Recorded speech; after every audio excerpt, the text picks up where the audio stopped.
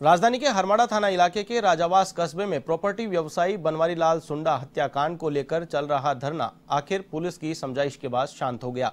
धरने में बड़ी संख्या में ग्रामीण मौजूद रहे। पुलिस के खिलाफ लोगों ने नारेबाजी कर विरोध प्रदर्शन किया। वहीं सुरक्षा के लिहाज से तीन थानों के अलावा अतिरिक्त पुलिस जाब्ता मौके पर तैनात किया गया। चौमू और वैशाली नगर एसीपी भी मौके पर मौजूद रहे और लोगों से समझाइश कर मामले को शांत कराया।